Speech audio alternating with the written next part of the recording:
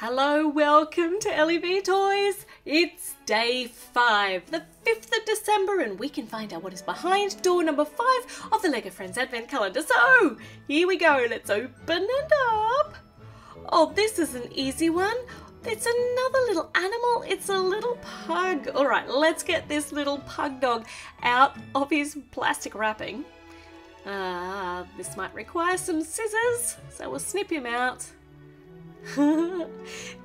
There's a little pug. Oh, this is the calendar of animals by the look of it. We've got a baby bunny so far. Oh, that's so cute. Don't bark at the baby bunny though, little pug. Now, uh, I wonder if he's going to be as naughty as Pig the Pug. Have you read any of the Pig the Pug books? Pig the Pug is so naughty. So I hope that this little pug is not as naughty as Pig the Pug. All right. Oh, and Stephanie's mum is wearing something very odd today. Make sure you write in the comments what you just saw her wearing on her head, and we'll be back tomorrow for door number six. That one was too easy. I want something I can build tomorrow, so hopefully there'll be a build behind door number six tomorrow. I'll see you then.